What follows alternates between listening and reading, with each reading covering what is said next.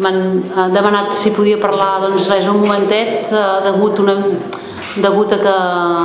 jo sóc membre de Lluçanès Viu, de la comarca del Lluçanès de moment encara no oficialitzada però que esperem no trigar massa a ser-ho. Eh, Lluçanès Viu neix i creix eh, de la mà del GDT, del grup de defensa del Ter, eh, doncs per tota la problemàtica que ja s'ha comentat eh, de l'ampliació de, de grans granges de porcs a la comarca d'Osona i també a la nostra, del Lluçanès en zones que eren vulnerables, o sigui, zones que ja tenien problemes de contaminació, no tant com a la Baix a la Plana, però que doncs, fan servir les nostres terres, els nostres pobles, els nostres, doncs, per,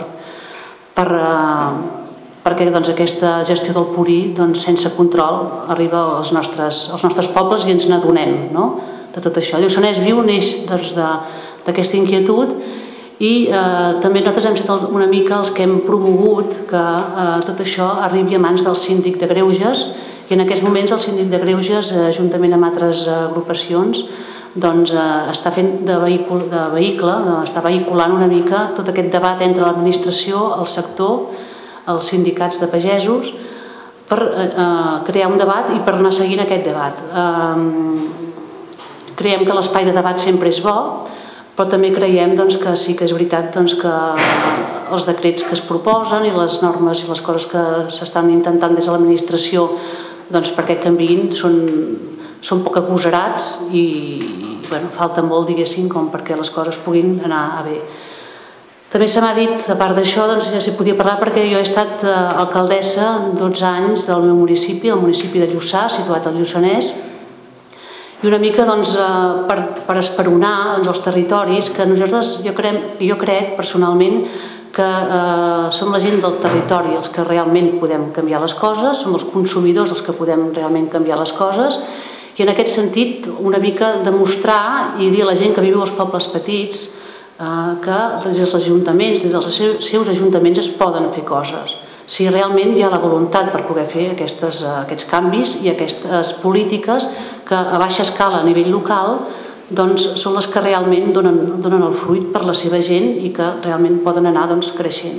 Els ajuntaments tenim competències per fer moltes coses a nivell de residus. No cal que ens les vinguin a dir com les hem de fer els de dalt. A nivell del tema de l'aigua, del tema de la municipalització de les aigües, de, com volem gestionar l'aigua del nostre poble, d'on ha de venir, eh, totes aquestes coses i tenim molt a dir la gent que hi vivim aquí. I hem d'esperonar i hem d'apretar els nostres ajuntaments perquè realment siguem nosaltres els que decidim, els que vivim en els nostres municipis. I a vegades, sovint, doncs, eh, ens pensem que ens ho han de fer i això no és correcte, perquè moltes vegades els governs municipals estan portats per gent doncs, que tampoc tenen masses ambicions, masses idees, ni tampoc de vegades masses ganes de treballar, perquè tots ens coneixem,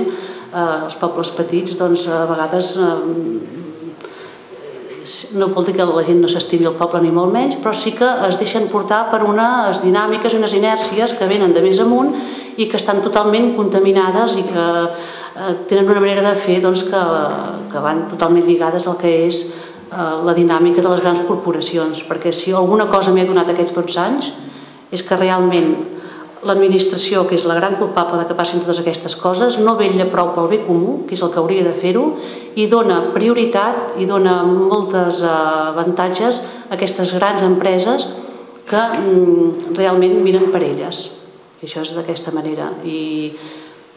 eh, només era una mica per intentar empoderar el territori. I els que viviu en els més petits dels pobles de Catalunya és igual, empoderar, intentar que els ajuntaments amb les seves competències que ja tenen, doncs exigir que es facin. Per exemple, a nivell urbanístic,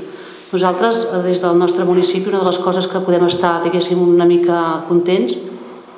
és que vam saber redactar un planejament urbanístic en el qual, per exemple, les macrogranges no són possibles.